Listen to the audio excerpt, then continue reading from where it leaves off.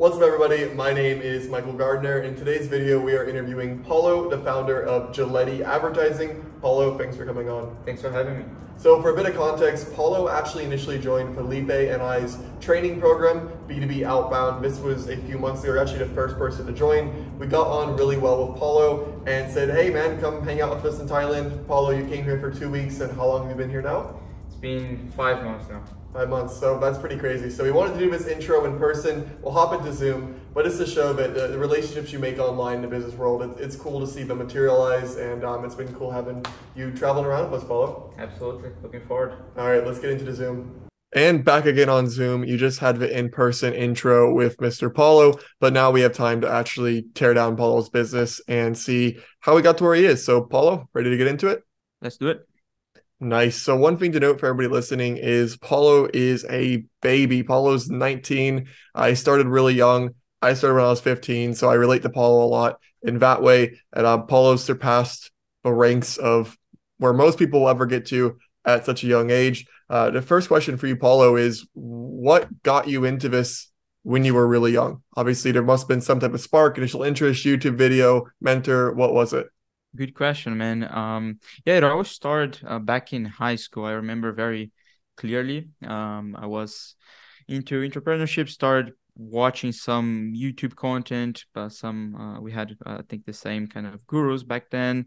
and at some point in high school, we had this uh, big keynote, um, which is uh, was from someone that had a company, a big keynote in, in into business, entrepreneurship, and how to start a business from school and then I ended up going to stage and talking to this guy. His name is Danilo. Uh, I'm originally uh, based in Brazil. I'm, i was born in Brazil, uh, and uh, back then uh, I started creating a relationship with him. Started to talk to him. Started to follow him around a little bit, and he kind of got me into this world of trying to make some money while I was in high school.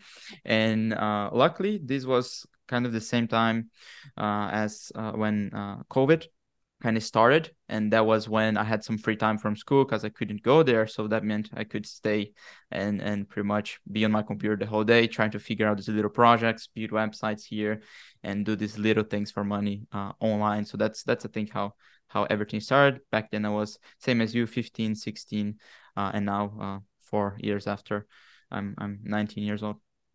Nice man. And what was the first business that you tried out well, there was a couple of small things. Uh, one one I remember was I uh, started like an affiliate marketing uh, with Amazon, uh, like the, the, affiliate links, trying to sell books with uh, Facebook ads. So I started doing Facebook ads and then uh, running them to Amazon. Never worked. Also doing some video editing on freelancing platforms.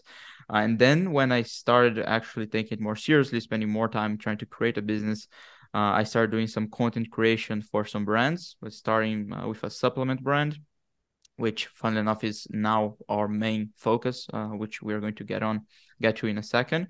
Uh, but also uh, creating content for these small businesses, um, salad bowl places, and coffee shops back in Brazil, which uh, paid very little. it's it's it's funny when when we remember when we compare how much we were making uh, back then. But for, for me, it was a, a, lot of experience just taking pictures, editing, sending back, and managing social media, this and that. So that would be the the first first uh, peek into entrepreneurship. Awesome. Thanks for the background. And one thing that I want to highlight there, and this is something I hear a lot, is how can I charge a lot? I'm based in X. You know, I'm based in India, I'm based in Pakistan, Brazil, I'm based in even I hear this in like random European countries.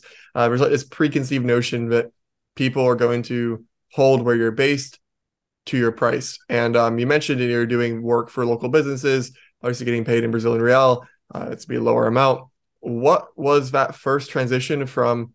Wait, I'm equally as valuable on an international market as I am on a local market. How did you first decide that? How did you first transition? Oh, great, great question. Uh, it was very interesting. I was working doing Facebook ads back then for uh, brands uh, in Brazil, and the retainers were, were, were, all in real, which is the Brazilian currency. And then this mentor I mentioned back then from from this school keynote, he he came up to me and said, "You know how to speak English, uh, you know, uh, to some extent."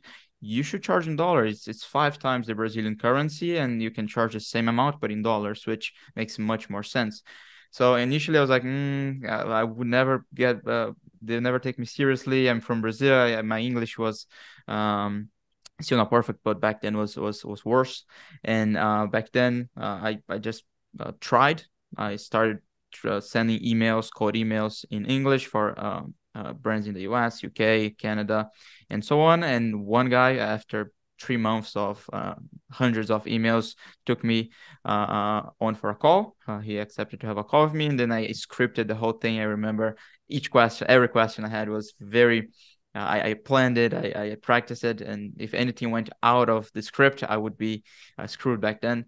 But uh, but it actually uh, worked well. So the, this first sales call with an American business, I ended up closing for a retainer of twelve hundred. I remember, and that was the first step towards um, getting into the global market. The, this client was originally based in New York. It was a fashion brand based in New York, and from there, I said, okay, that makes that does make sense. Let's just go after uh, businesses outside of Brazil in dollars, pounds, uh, euros. And it's fun because uh, most of them actually, after being in, in at this point dozens of sales call sales calls uh, most of them when when they ask where are you from? they uh, i'll say oh i'm from brazil and they will actually uh, be happy about it. They'll actually be okay that's that's great. I've been there for carnival or i've been there with my family or uh, they they like it because they know that our costs uh, for employees and our uh, costs to operate the business are much uh, um, are, are, lower than if we were in the US, for example. So our retainers also reflect a little bit of that. All the money go actually into uh, not fancy offices in the UK or fancy offices in the US, but actually towards uh, fulfillment and actually towards talent that will deliver a better service. So it ends up uh, working pretty well. Thanks for the explanation. I, I think that's actually really helpful for a lot of people listening because it is something I hear over and over again that, you know, this won't work for me. I'm based from X, Y, and Z. I mean, if you don't tell someone you're based in Brazil, no one's gonna have any idea. I mean, look at Miami, man. I mean, like, yeah, I'm in Miami. Uh, you know, there's literally no no issues there. So, one other question tying into obviously being young in business, and I'm I'm addressing this specifically because a lot of the interviews I do, or if guys that are in their late 20s, 30s, sometimes even 40s, um, you know, family tied into business is less of a topic for them, or it's more like I have kids, how do I manage them? Uh, but for yourself, what was the point where your parents kind of started taking what you were doing as okay, it's not just him messing around, he's actually making some significant income. Where was that point? Well, um, that came with a lot of uh, resistance from them, especially when I was not making anything. You know, in the, the, the initial gap, when uh, you know I'm just doing this this all this work and not really seeing a big return. That's the the initial phase. I'd say the first year in business for most people will be like that. Uh, and in that phase, it's really hard. They say no, just focus on school, just do this, just just keep your normal path. But then once you we you start getting results. So for me, that was when I think I started closing these international clients first I, I communicated a lot with them. So i talked to them hey look what i'm doing for this brand. Look this sales call i had. When one thing that was interesting the, first sales call i showed to my my dad i was actually very proud because first i was talking uh, speaking in english which is something that for them is like okay uh, that that's a that's good. And also uh, he's seeing me talking to uh, another business owner and for them for our parents most of the times they say oh, they are young they, they can't uh, they're not ready for for business world for work they should go to college first but then when they see us um, actually speaking to a business owner and closing a deal receiving money from them and actually uh, starting to make some money out of this business then that's the point where they start to respect so for me I started uh, not asking them for money anymore. I started paying my own bills. I started helping them even with some things uh, um, in the house. I think I was 15 when I bought them their first dinner. So I ordered this very fancy Japanese uh, uh, meal at home, and then it was all on me. So that's that's I think is when uh, uh, they they really start to respect and understand. That's awesome. That's a cool story, and I like how you have that one core moment of a Japanese dinner. That's probably something that you'll tell at a seminar or, um, or at many other podcasts in the future. So transitioning from the personal stuff to the business stuff now. Um, obviously, you do Google Ads. Um, I'm curious, when you first started, did you go down the path of we do everything for everybody, or was Google Ads the first thing that you latched onto? Mm, interesting. Um, yeah, in the beginning, uh, we mainly focused on paid traffic and back then facebook ads was really trending. So that was the first platform where uh, i really put in time to learn to really understand all the all the all, all our sales was around we do your facebook advertising.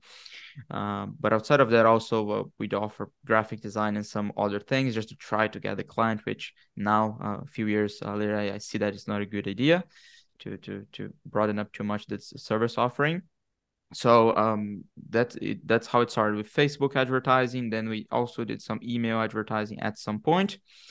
And then about two years ago, two and a half years ago, that's when we decided to go all in on Google Ads. We were seeing that for most brands, e-commerce brands, of uh, Google Ads is the most consistent and reliable and scalable platform. So we decided to simply become the absolute best in Google Ads and focus just on that for for clients. Awesome. Thank you for the explanation. And we talk about getting specific on Google Ads, but I know you've also gotten specific on working with supplement companies. I know not exclusively, but majority of your clients being supplement brands. And I've seen firsthand how that's really impacted your campaigns because you just have all this credibility and social proof. Was that on accident you stumbled into that space or was that intentional? It was actually uh, an accident. I'll, I'll tell you, uh, at some point, I realized that 75% of our clients were in the supplement space probably because i think we we, we did a, a, a whole outreach uh, um, effort around supplements part of our learn from you in cold email and then had all this very well segmented uh, email script around supplements and we started to close more and more supplement brands. And now it's it's fun because we uh, kind of by accident we have the biggest creatine brand in the us the number one creatine rated in the us also one of the top 10 isolate whey protein brands. And now we are about to start working with the biggest pre workout brand in the US, which is very interesting. That just happened to happen that way. And uh, now we'll pretty much niche down and start focusing more and more on supplements, which is where we already understand the nuances. We already understand how to uh, do the, the, the Google Ads in a way where it makes more sense specifically for this niche. The mathematics behind it, all the math is very uh, is very unique. So we, we have been uh, specializing on on supplements and uh, accidentally became a, a very good Google Ads agency for supplement brands specifically. That's great, and um, I, I like how you mentioned that you know you're segmenting your campaigns around supplements obviously one of the things we're big on teaching in b2b outbound and that's for anybody listening that's the program where uh, me and paulo originally got close. Uh, it's a coaching program i run with my business partner felipe. We talk a lot about segmenting right? Um, your campaigns are only as good as how specific you're targeting. You know uh, beauty brands don't care about supplement case studies and, and vice versa. So paulo taking that advice and doing those very specific um, supplement campaigns it just puts them as a position of an expert. And um, I'm curious if you could notice a difference between when you do a generic campaign versus when you do like one of these niche campaigns around case studies. I also have found that like the actual sales process is a lot different because people just look at you like the expert as opposed to a generalist. Exactly, and and and as you said, in the uh, during the, the whole sales process. So first in the emails, you get a lot more people uh, replying uh, naturally, as they will not only read your email and see your case studies, but also click on your website. Now I'm I'm I'm in the process of building a whole landing page around supplements to really build social proof. But for example, on the brands you you worked with section, I have a bunch of supplement brands. So they look at the website and then they come back to the email and they reply positively, like, "Hey, great, I saw this brand." Uh, fun enough, I had a, a consulting call a couple weeks back, and the owner said, "Hey, I, only booked this this consulting call because I saw that you are working with this brand, and I'm actually mm-hmm. friends with the owner." Uh, so in, in, e-commerce and I think in, in business in general, uh, a lot of people uh, there's a there's a, a community around the, the, the highest performing businesses so around the highest performing supplement brands you have a lot of people knowing each other and then uh, they see uh, someone else's brand that they know of. Um, for uh, they look at the brands you worked with, and they know, okay, great, this guy works with him. I will either ask for a recommendation for, for their opinion, or I would just book a call.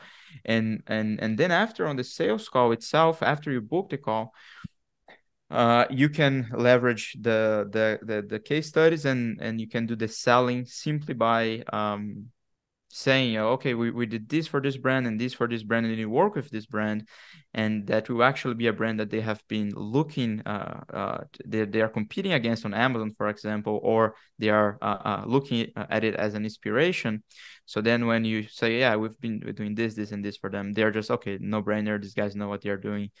Uh, you don't have to to prove again and again that you have experience and that you deliver good results because you simply show those those other projects. Love it. I agree with everything you're saying. And now, uh, tying down to the end of the interview here, um, one thing I've noticed with you is that you have a very nicely calculated risk tolerance. I see some people where they're off the walls. I see other people where we're terrified to take risks. Um, one of those being, um, for anybody doesn't know, I, I, work with Felipe as my business partner for my agency and for our coaching program. And we had actually invited Paulo uh, to come um, well, initially meet us in Brazil when we were traveling there. And uh, and upon meeting Paulo in Brazil, he was insistent that traveling is not for him, and he's just going to stay here and do a whole bunch of boring stuff. Um, and then uh, in in Thailand, uh, Felipe and I said, Paulo, you should come out here. And um, and this is, I think, you were one week into university or two weeks into university, and uh, you made the decision to drop that and come here. What was the changing factor between the six month period we had met in Brazil, where you were going to get the whole picket fence and settle down, compared to now being indefinitely moving around? Well, that's that that was an interesting phase in my life. Uh, we we initially met in Brazil uh, about more than a year ago, and then I received the invitation, right? Well, let's go to Thailand. I was like, mm, Thailand, the other side of the world is quite a scary idea for me back then.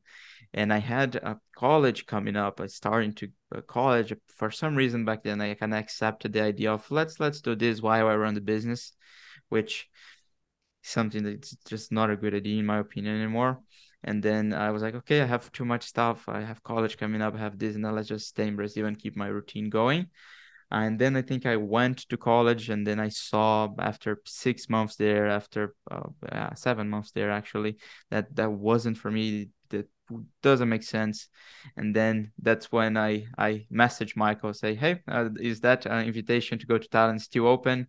Uh, uh, and then he said yes it's still open. Uh, you can you can come in in october and then uh, I decided to drop out. That was after a couple of, of weeks in, in, in college, uh, in the se- second semester actually of college, and uh, I just just booked the flight and and came came here. So it's very very interesting experience. Uh, definitely, uh, before I had this this this risk uh, tolerance, as I mentioned before, also for business, right? Like I was okay I, here in Brazil, I have my routine, I have everything taken care of, I can just the business. I don't have to worry about anything else. And then the idea was um, this is helping me. This is giving me more time to dedicate on the business. And now, uh, if I start traveling, I may lose productivity, this and that. But I, what I realized after being here for, uh, as I mentioned, five five months, is that uh, the, the the actual productivity, the actual outcome of the work, even let's say I'm, I'm putting one hour less into work every day, the, the output of the work has been much better than uh, before simply because I, I, there's something about uh, seeing new places and something about there's some energy that is acquired by uh, seeing new places and getting to know new cultures and doing new uh, uh, stuff on the free time that uh, fuels you up for business. So yeah that's that's a very very interesting story there. That's a very good way to summarize it and I, I do agree. But you see new things, you realize how much there is, and it makes you want to do more so you can experience more of it. Well, Paulo, this interview has been great. I appreciate you coming on. I will have Paulo's links down below if you want to follow him on YouTube and also link to his agency. If you have a referral or you're an ecom founder, you want to talk to Paulo about Google Ads, I encourage you to uh, check out his website and book a call. Uh, Paulo, thanks for coming on. That's great, man. Thanks for having me. Absolutely.